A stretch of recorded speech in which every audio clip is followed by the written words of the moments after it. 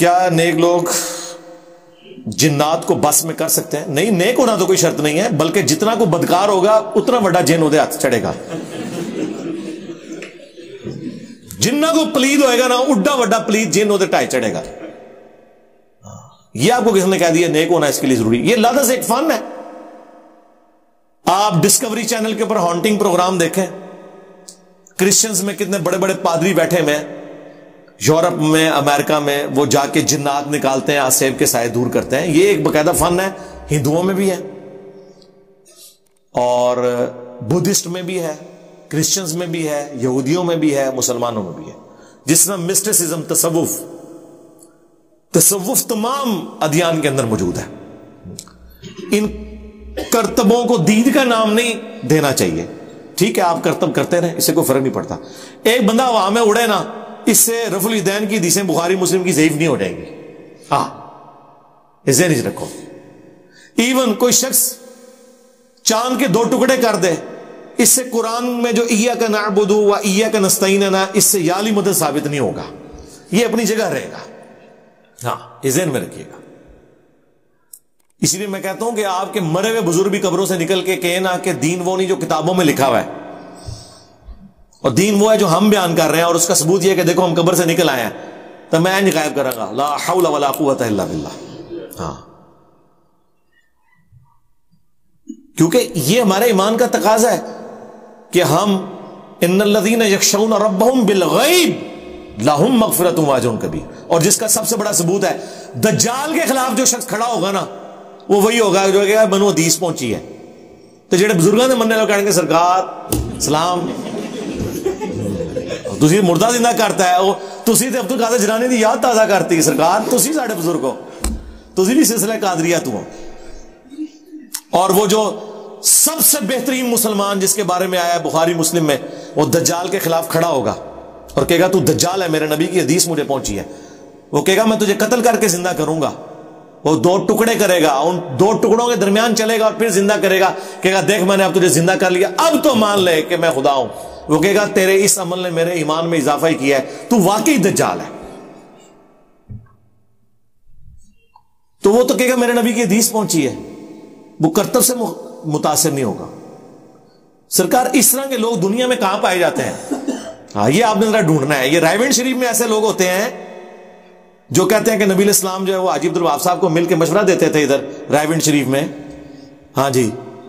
और वो रायविंड इज्तमा में आते हैं और दावत इस्लामी के इज्तमा मुल्तान शरीफ में असी आप यकीन करो लोगों दस दे रहे ना आप देखा ना किसी देखे हुए देखा हाँ साढ़े ज्यादा कौन ये सब कहानियां इन्होंने चल रही हैं एक बुजुर्ग का बयान है कि उनके एक जानने वालों में एक बुजुर्ग हैं उन्होंने ये देखा है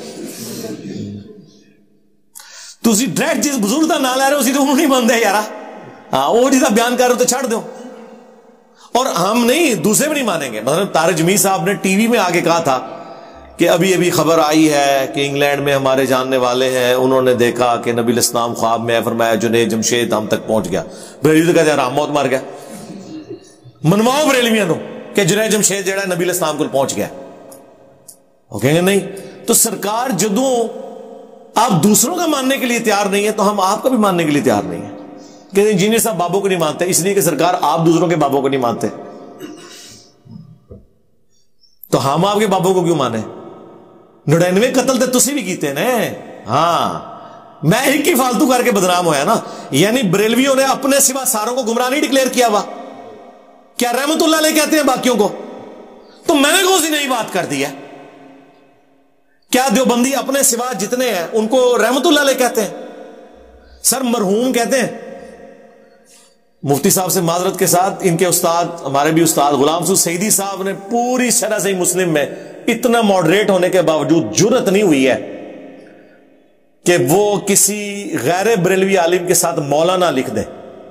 शेख अशरफ अली थानवी, मौलाना नहीं लिखा और रहमतुल्लाह भी नहीं लिखा। नहीं, इतनी टॉलरेंस है ही नहीं है। अब मैं ना, हम छोड़े, हम तो किसी को नहीं मानते ना। हाँ हम तो किसी को भी नहीं कहते। ये नहीं कि मैं उनको लानत ले कहता हूँ, नहीं, मैं कहता हूँ अल्लाह के सबूत। जो आप कहते हैं ना, बुज़ुर्गों के बारे में खामोशी इख्तियार करें, हम खामोशी इख्तियार करते हैं। और ये कहीं आपको थंबनेल पे भी रे हेड डली हुई नज़र आए ना, आपने बदगुमानी होना, वो रहलत की होती है। रहमतुल्ला नहीं लिखा होता। ठीक है जी तो ए जिन्नात वाला जड़ा ना, ये क्या वो गैब जान लेते हैं? गैब नहीं जानते जी सरकार, गैब तो कुरान में लिखा हुआ है। सूरज जिन के अंदर गैब नहीं जानते, अलबत्ता जो माजी में वाक्य हुआ हुआ है ना, वो हमजाद के ज़रिए वो कर सकते हैं। आपको खबर दे सकते हैं जो माजी में या इस वक्त रियल टाइम दुनिया में कहीं वाक्य कोई हो रहा है। वो तो गोरा भी आपको बता देगा कि फलां जगह इस वक्त लाइव मैच है, अन्य स्कोर बनाए ने। ये नहीं कोई बता सकता कि आंदा क्या होगा। चाँद एक चीज़ें हो सकती हैं जो बुखारी मुस्लिम में के बाजुकात जिन्नात उचक लेते हैं। उनके ऊपर अल्लाह ताला की तरफ़ से फिर शाब साकिब मारे जाते हैं। और फिर आके नजूमियों के कान में वो बताते हैं, वो फिर उसमें कुछ झूठ मिला के बताते हैं, लेकिन वो पूरी सच्ची खबर नहीं होती। ये जेन में रखिएगा। गैब कोई जान नहीं सकता सवाए पैगंबर के और वो भी वही के साथ। हाँ। वमाकान अल्लाहुतम गईब ये अल्लाह की शान ही नहीं है कि तुम्हें गैब पर इतला दे। वलाकिन यज तबी मिर रसुल ही मैशा बल्कि अपने रसूलों में से अल्लाह ताला जिसे चाहता है उसे गैब की खबर देता है। तुम्हारा काम सिर्फ़ अल्लाह और रसूलों पर ईमान लाना है। गईब गैर नबी के लिए नहीं है। हाँ, बल्कि नबी होता ही वो है जिसे गैबी खबरें आती हैं। आला हज़रत ने तजबा ठीक किया हुआ है गैब की खबरें बताने वाला बिल्कुल। गैब की खबरें खुद नहीं बताने वाला अल्लाह के बताने से बताने वाला।